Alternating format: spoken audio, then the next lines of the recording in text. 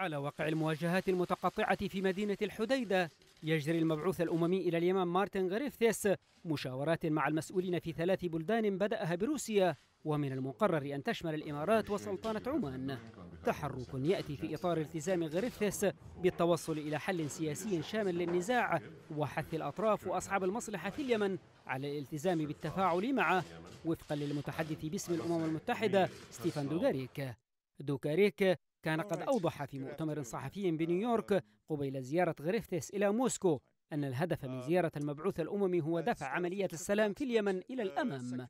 لم ترشح معلومات جوهرية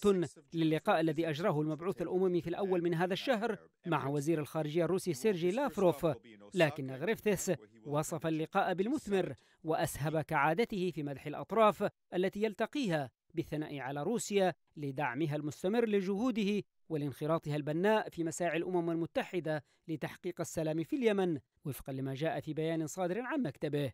المسار الحالي لغريفثس يمر عبر البلدان الأكثر تاثيرا في الحرب التي تدور رحاها في اليمن بدءا من الرياض مرورا بموسكو وأبو ظبي ووصولا إلى مسقط في محاولة على ما يبدو للحصول على تأييد مسبق لتحركاته المبذولة من أجل إنقاذ اتفاق الحديدة لكن المبعوث الاممي يتحرك مثقلا باتهامات تتعلق بتغطيته الأخيرة للانسحاب الصوري للحوثيين من موانئ الحديدة. كادت أن تنهي مهمته في اليمن قبل أن تتراجع الحكومة الشرعية عن قرارها عدم التعامل معه إثر وساطة قامت بها وكيلة الأمين العام للأمم المتحدة للشؤون السياسية روزماري دي كارلو إبان زيارتها الأخيرة للرياض ولقائها الرئيس عبد الرب منصور هادي ومسؤولين سعوديين.